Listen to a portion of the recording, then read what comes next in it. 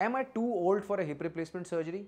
The answer is no. Age is not a criteria when we offer you a hip replacement surgery. It is the stage of your disease. If you have advanced arthritis, then at any age, after achieving proper medical fitness for you, we can perform hip replacement surgery successfully.